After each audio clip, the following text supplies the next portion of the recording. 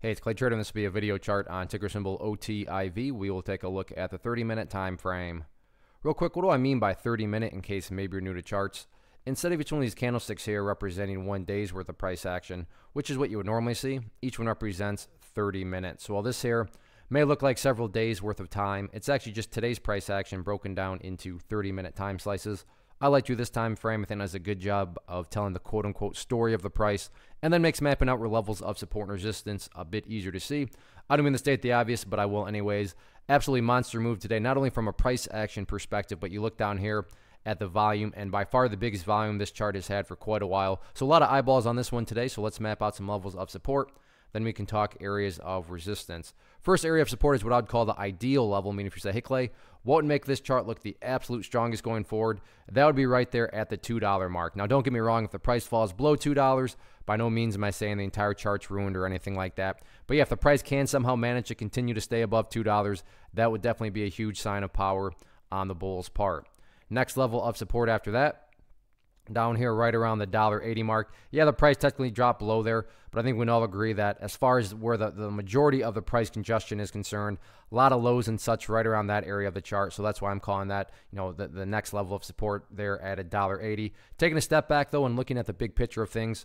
So assuming you care about more so a longer time horizon of things, that is where the purple line comes into play, which is the 50 period simple moving average. Keyword there being moving. As time goes by, that purple line is going to move itself higher and higher. So again, if you care about more so the grand scheme of it all, then the easiest way to gauge the health or lack thereof of the current price movement is as long as the price stays above that purple line, as the line itself moves higher and higher, then the, the price is you know in full bullish health. The bulls are in full control. However you can best visualize that in your mind that's what that is implying. So a very simplistic point of view you know in a nutshell you just want to see the price stay above the purple line as the line moves upwards. What about areas of resistance in terms of the key level of resistance right now, I realize the price did technically go above this area, but I'm going to call it right up there at $2.40 just because there was only one time where the price went up above it, but then you have these couple occasions right there where the price was directly rejected from it. So in my mind, 240, if you want to call it, you know, make that the level of resistance, I wouldn't argue against it. But again, I'm just using that because you have two data points right there compared to one.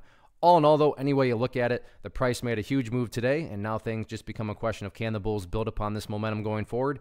We shall see. Still four days left this week.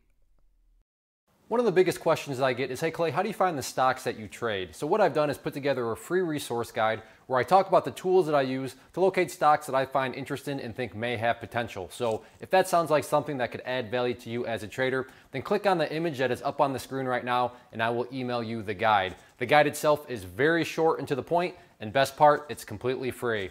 Thanks for watching the video. Let me know if you have any questions.